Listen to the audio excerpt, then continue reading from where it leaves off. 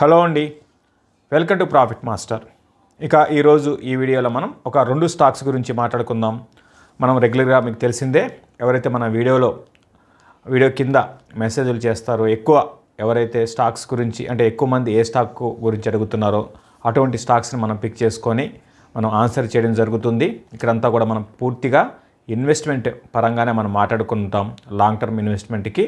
Fundamental analysis తర్వాత భవిష్యత్తు గురించి ఆ ఆ కంపెనీకి ఆ సెక్టార్కి ఎలా ఉంటుందో అటువంటి అంశ ఇటువంటి అంశాలు మాత్రమే మనం మాట్లాడుకుందాం. ట్రేడింగ్కి అయితే ఎటువంటి పరిస్థితుల్లో కూడా మనం ఈ వీడియోస్ మనం చేయటం లేదు. ఓన్లీ ఇన్వెస్ట్మెంట్ గురించి మనం మాట్లాడుకుంటాం. అందులో భాగంగా పౌషక్ గురించి అడుగుతున్నారండి. చాలామంది అడుగుతున్నారు. తర్వాత అశోక బిల్డ్కాన్ ఈ రెండు స్టాక్స్ గురించి ఈరోజు మాట్లాడుకుందాం. ముందుగా పౌషక్ స్టాక్ పేరు పౌషక్ ఇది దగ్గర దగ్గర ఆరు వేల మూడు వందల రూపాయలు దగ్గర ఉంది.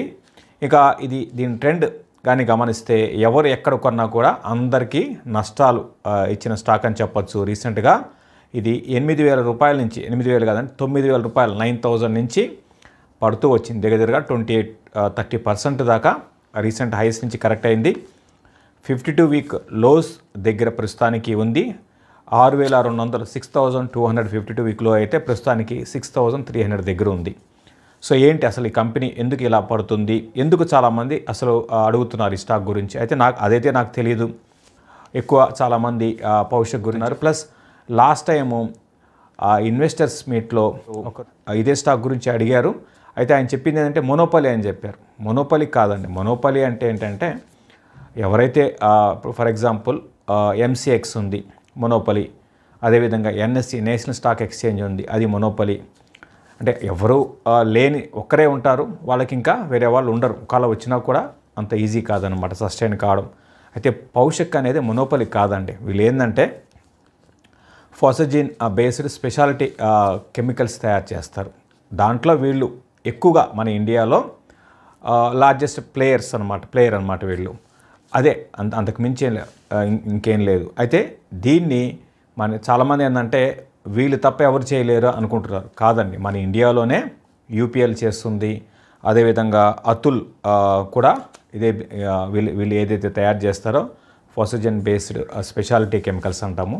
దాంతోపాటు ఫాసిజన్ బేస్డ్ గ్యాస్ అంటాము. అయితే చాలా అంటే ఇది తయారు చేసేది పెద్దగా లేవు. కాకపోతే ఏంటంటే వందల సంఖ్యలో కంపెనీలు కొన్ని కొన్ని మాత్రమే ఉన్నాయన్నమాట. వాటిలో ఇది పౌషక్ కూడా ఒకటి కాకపోతే ఉన్న అన్నిట్లో ఎక్కువగా వాల్యూమ్ పరంగా ఎక్కువ చేస్తుంది. అది అది దీని యొక్క అంటే దీని యొక్క స్పెషాలిటీ అని చెప్పచ్చు. అంతకుమించి దీని గురించి పెద్దగా మాట్లాడుకునేది కాదు. ప్లస్ ఆ బిజినెస్ కూడా చూడండి చాలా సైజ్ సైజ్ పరంగా చాలా చిన్న సైజ్ బిజినెస్ అండి ఇది. సో అంటే ఇది కంపెనీ కూడా ఎంత అంటే రెండు వందల కోట్ల టర్న్ ఓవర్ కంపెనీ అంతే. ఈ కంపెనీ రెవెన్యూస్ కానీ గమనిస్తే రెండు వందల కోట్ల కంపెనీ కంపెనీ. ఇక ఈ ఫాసోజన్ బేస్డ్ స్పెషాలిటీ కెమికల్స్ అటు ఫార్మాలోను అగ్రి అగ్రో కెమికల్స్లోను వాడుతూ ఉంటారు. దీంతో పాటు డైస్ అని అదర్ కెమికల్ ఇండస్ట్రీలో వాడుతూ ఉంటారు. సో ఇది మార్కెట్ ఎంత అంటే మీకు చెప్తే మీరు అంటే మీరు కొంచెం సర్ప్రైజ్ కూడా కావచ్చు.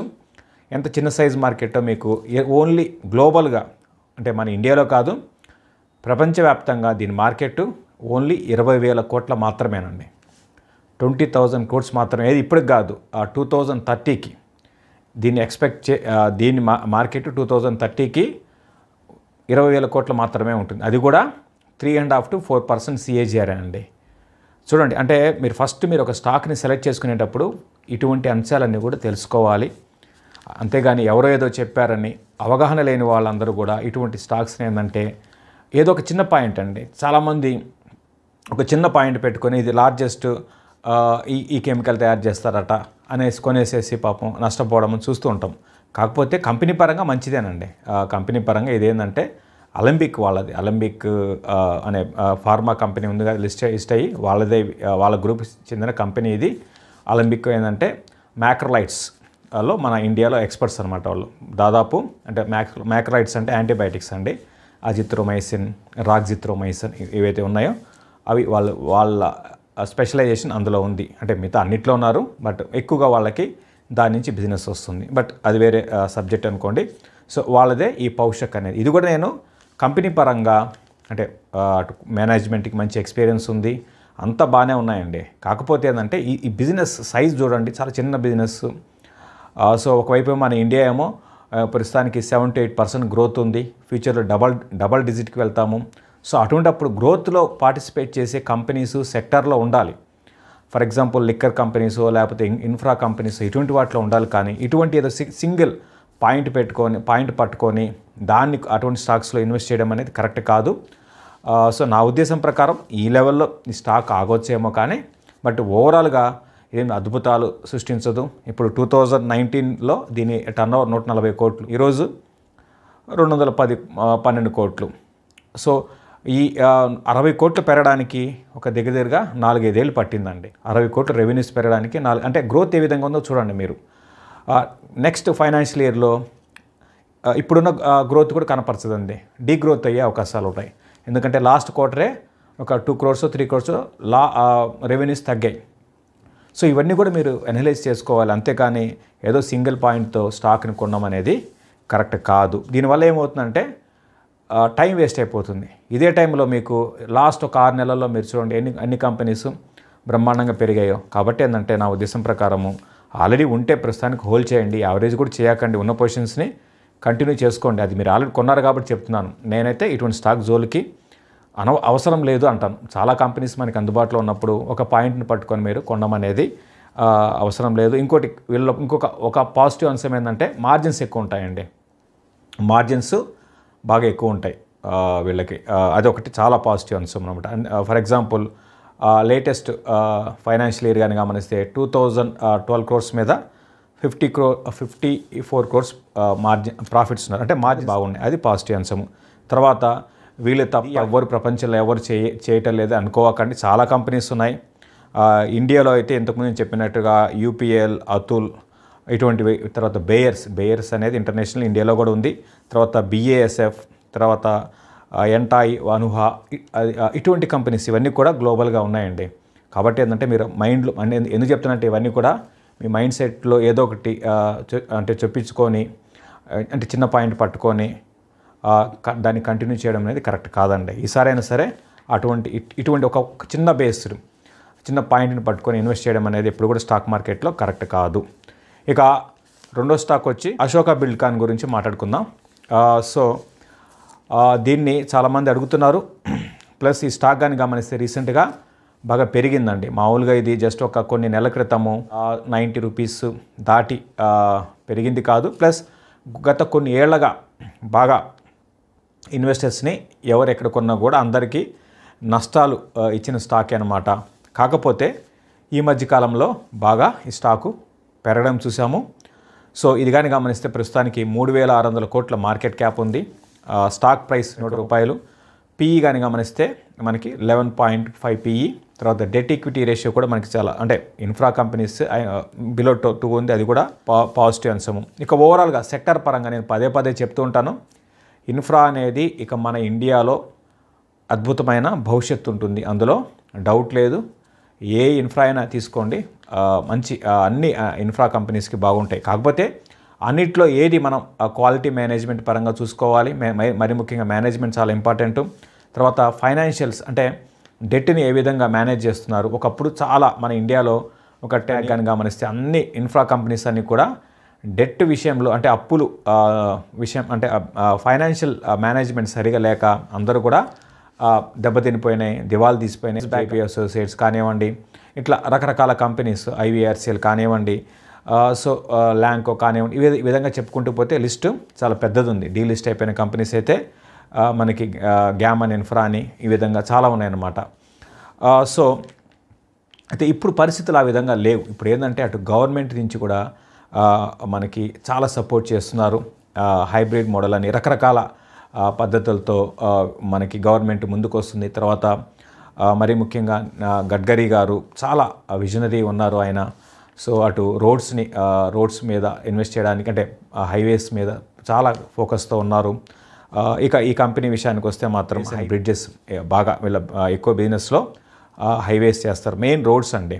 రోడ్స్ పవరు కాకపోతే అంటే EPC engineering and engineering procurement and construction company so ఓవరాల్గా ఫండమెంటల్ పరంగా ఒకప్పటికి ఇప్పటికి బాగా ఇంప్రూవ్ అవుతున్నాయి. తర్వాత ఆర్డర్ బుక్ కూడా ఆర్డర్ బుక్ బుక్ కూడా చూస్తే మనకి uh, లాస్ట్ uh, అంటే టూ థౌజండ్ ట్వంటీ టూలో పదమూడు వేల కోట్ల ఉండేది ఈరోజు దగ్గర more than sixteen thousand three hundred కోర్స్కి రావడం చూసాము.